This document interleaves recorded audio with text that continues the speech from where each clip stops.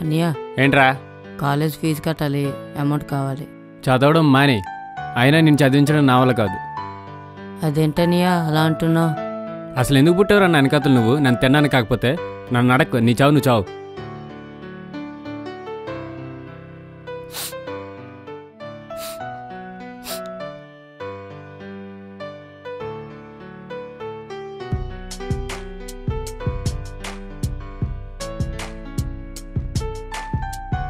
వీడేంటి ఎక్కడ ఉన్నాడు?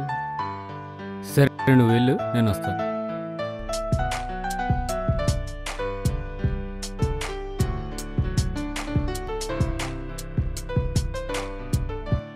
ఏంట్రా తమ్ముడు అక్కడే ఎక్కడ కూర్చున్నావు?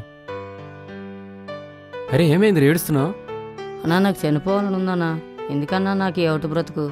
ఈ ఎవరితనం వల్ల అయిన వాళ్ళకే భారమైపోయాను. అరే తమ్ముడు అవిటితనం అంటే అవయవాలు లేకపోవడం కాదు కష్టపడి సత్తా లేకపోవడం. మన కోసం ప్రభుత్వం ఎన్నో పథకాలు పెట్టింది. ఏం పథకాలన్నా? మనకి అందరితో పాటు త్రీ పర్సెంట్ రిజర్వేషన్ ఇస్తుంది.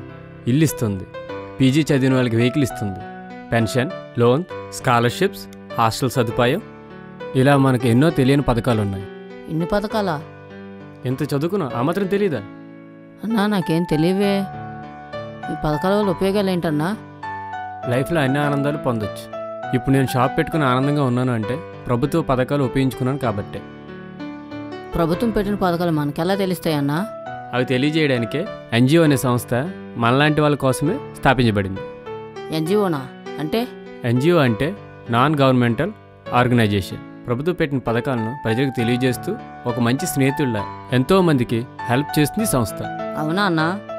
అయితే నేను కూడా ఎన్జిఓ దగ్గరికి వెళ్తాను ప్రభుత్వ పథకాలు తెలుసుకొని ఉపయోగించుకుంటాను. వస్తానన్నా.